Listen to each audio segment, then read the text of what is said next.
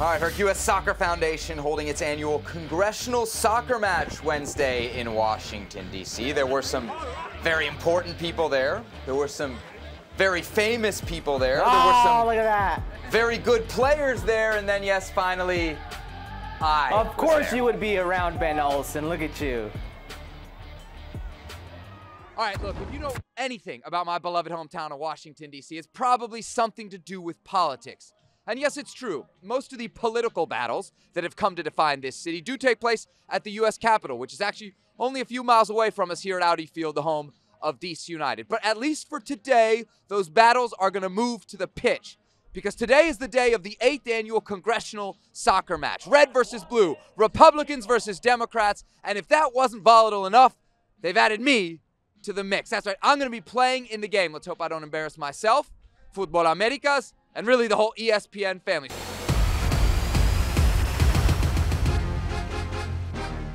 Hey, what's up? Say hi to the camera. Eh, no lo, no lo veo. En la no- República, aquí, Sí. con, con todo No, el pueblo. acá, acá el presidente y Seba, pero no veo, no veo a un jugador que hace contigo, un exjugador que hace contigo un show. Coach, I didn't hear my name in the lineup. Am I, does that mean I'm on the bench? On the bench! On the bench! That's devastating. Hard decisions have to be made. Your boy ends up on the bench.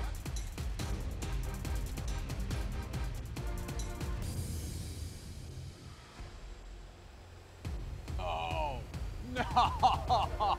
He's getting greedy. It's getting physical. Oh, no! Oh, no! Oh, no! Oh, no! You gotta be kidding me!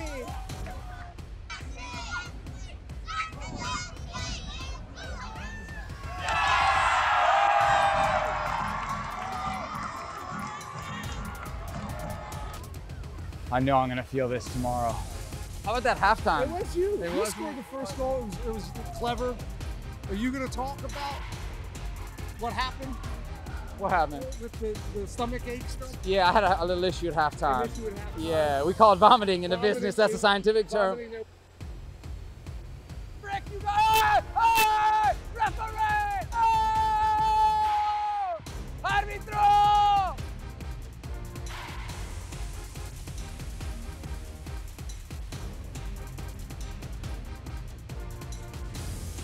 Hey, good run out there.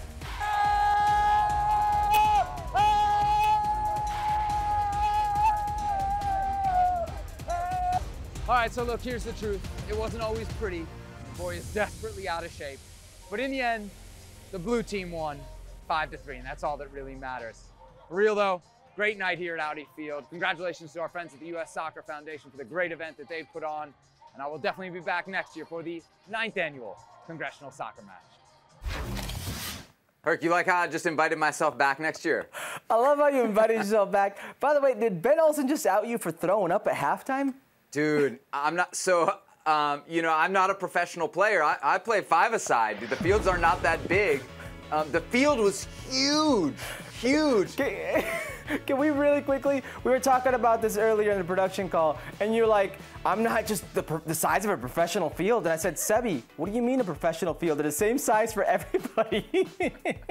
Nah, this one felt. This one felt like it was. This was way bigger. This, this, you know, we. Were, this was wild, man. I, I, I made. You know how I like to play because you've seen me play before. I like to. Um, I think Devon McTavish. He said it last night. We were talking. Uh, former DC United player. He said.